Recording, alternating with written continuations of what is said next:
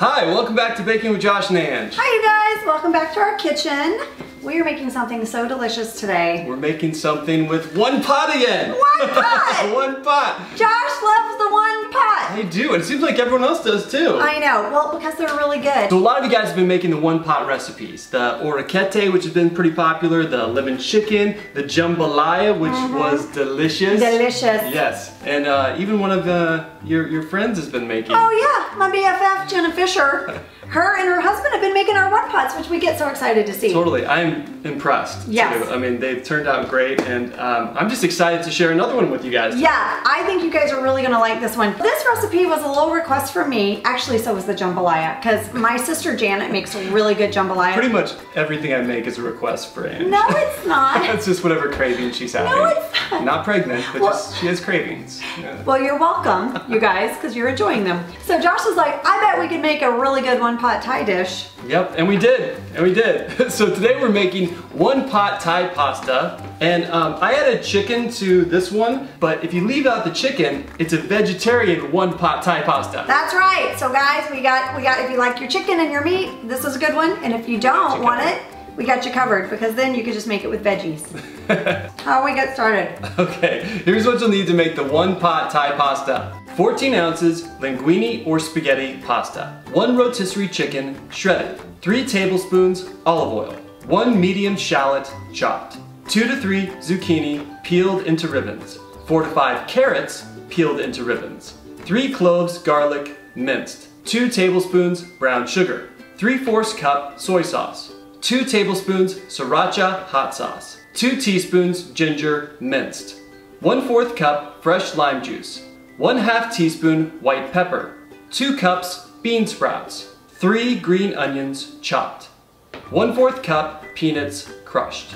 Okay, so the first thing we need to do with the one pot pasta is cook the pasta. Make the pasta. Yes, so I already cooked the pasta in the one pot. Um, um, We're, we might not have enough uh, to make our Thai pasta. You keep eating everything. oh, come on. All right, so we made the pasta and we strained it and Josh put a little bit of olive oil in it so it's not all sticky. Yep, so it doesn't stick together while we're making the rest of the, the dish. All right, so while your pasta is done and warm, let's get to the sauce. Yep, so this is how you make the sauce. Put the soy sauce in, the brown sugar, the sriracha sauce. It's pretty hot, okay? So if you don't like spicy things, then you can lower it to like a tablespoon or leave it out altogether. Then we'll add the ginger, the lime juice, and lastly, the white pepper. Now you can use black pepper too if you don't have white pepper or can't find it, but white pepper does have a distinctive flavor that, Right. that makes it uh, really good. So we're gonna add the pepper, and then we'll mix this together with the whisk. Mix it together. Yep. It, it smells good already. Yeah, already. Like I already want to dip something in it.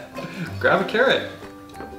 Good? Mmm. All right, good. The sauce is ready, so we're just gonna set this to the side. So the next step is we're going to saute the shallot and the garlic in the olive oil. So I'm going to turn this stove onto medium heat, add the olive oil. We're gonna let this heat up over medium heat, and once this is heated, we'll add the shallots and the garlic. So we're gonna saute this over medium heat for about one to two minutes until the, the garlic is really fragrant. We want fragrant garlic, That's people. right. I can I can stir. You need me to stir? Yeah, come over here. All right. So the great thing about this Thai pasta is that it comes together really quick. So once you gather all the ingredients and do all the prep work, um, the, the meal actually cooks really quick. And it's all in one pot. One So- pot. One pot. All right. Now it's getting hot. All right, that looks great. Next we're gonna add the veggies. We're gonna add the carrots. And put all these carrots in the pot and the zucchini. I love zucchini. Now it looks like a lot, but these will cook down quite a bit. They do. They just kind of shrink. they kind of shrivel. No judgment. No, no, of course. The pool might have been cold, you know? You never know. Inappropriate. Kitchen humor. We will just saute these veggies for about four to five minutes until they, they, they start to look soft. So these veggies are nice and soft. So now we're gonna lower the heat and it's time to add the pasta. It's time to add the pasta. Are you still eating the peanuts? They're salty peanuts. They're so good. They good. are, but we need them for the They're- recipe. They're right in front of me. Uh, I'm hungry. So we're gonna add the pasta to the pot. Then we'll also add the shredded chicken. Next we're gonna add the sauce. Okay. All over the top, this delicious sauce. Now you just wanna stir this up Really coat all the pasta and the chicken and the veggies with the sauce. See how easy this was? Easy. Super easy. It just takes a little bit of time to prep everything, but mm-hmm. once you once you get that done, it's, it comes together quick. You can probably buy carrots and zucchini pre-cut too. You if you're feeling super lazy. You can, but cutting them in ribbons is pretty easy. All So it doesn't take that much time. All right, I'm just saying. But you can, you If definitely you want can. some real shortcuts, Angela would know about those for sure. Now we have that all incorporated. Mm-hmm. Now we're gonna add the bean sprouts. Bean right? sprouts. These don't take a lot of time to cook, so we're just gonna add these to the pot and cook them over low heat for about a minute. And the pasta will help kind of soften up the bean sprouts. What's next, babe? All right, the last thing is we're gonna top it with peanuts and some green onions, and that's it. You're ready to serve. Here we go. We're gonna add the peanuts and the green onions, and then we just mix this all together, and our one pot Thai pasta is done. All right, I'm gonna get us some bowls. All right. All right, we're done. Look at that. Jenna, I think you're really gonna like this one. You are one. gonna like this one. It is so delicious. good. And you guys can make this at home. I know you can. I have faith in you. Yes, make it. Tag us in it. Now we love it when you tag us. We in love it. Yep. Jenna, make it. and you tag us too. Um, all right, you guys have a great day. Thanks. all right. Bye guys. Bye. And it makes, what am I doing? I just don't know what bumped into doing. the, I like went, I got really excited. I went, makes everything easy at dinner.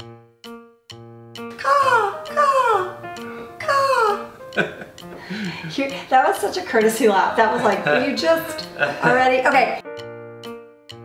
I don't know what I'm doing. Like, what am I doing? Like, I'm ready. You're Okay. conducting the, The pasta. orchestra.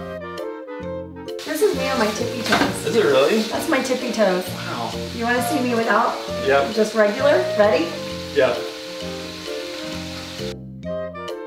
We're such dorks. We're such dorks. Ah, yum, babe. Yum, baby.